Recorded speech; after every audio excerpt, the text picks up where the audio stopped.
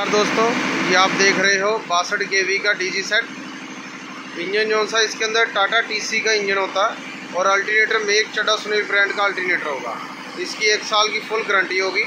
आप ये देख सकते हो विद टायर ट्रॉली छः सिलेंडर इंजन। इसके ऊपर वाटर लोड डल रहा है, आप देख सकते हो। और इजीली ऑपरेट हो रहा है, ये छः सिलेंडर इंजन होगा। With tyre trolley.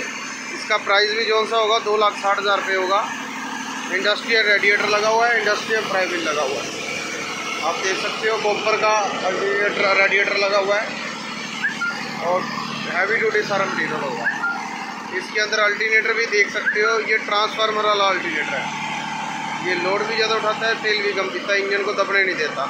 इसकी एक साल की फुल गारंटी होगी। ये आप देख सकते हो, इसके ऊपर वाटर लोड डला हुआ है। Manufacturing bike Chadha generator private limited.